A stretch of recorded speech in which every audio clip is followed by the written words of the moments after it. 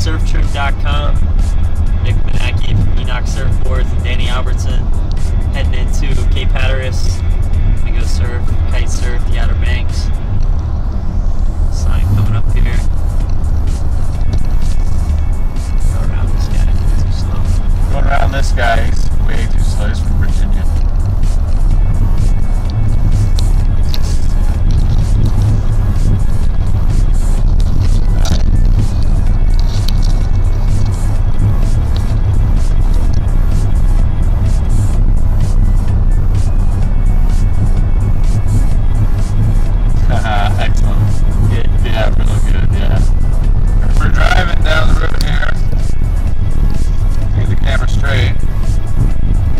Actually, this is the inlet if you, uh, let me pan over a little bit.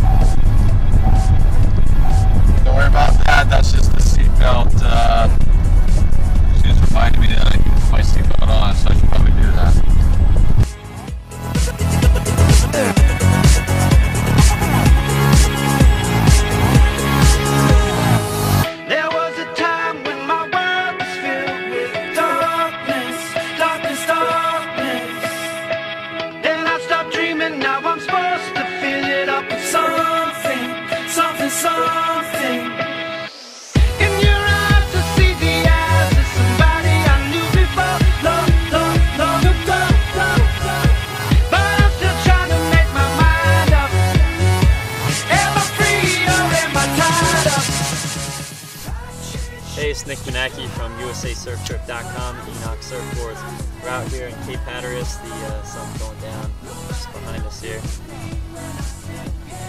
Kind of see through the window.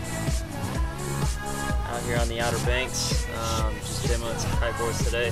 Here with Danny Albertson, Enoch team rider, kite, kite surfer, strapless kite surfer rather. Um, we just kind of refined a 5.2 wake surfboard that we uh, converted into a 5.4 kiteboard. So be working pretty well. Um, I got some good photos of them today. Danny, tell us a little bit about it, board. Uh, pretty unreal board. Uh, rode it for the first time today, and uh, was very impressed. Uh, it was very user friendly. Uh, made it into something that's working really well. I'm pretty uh, impressed with it. Yeah, we got some good photos today.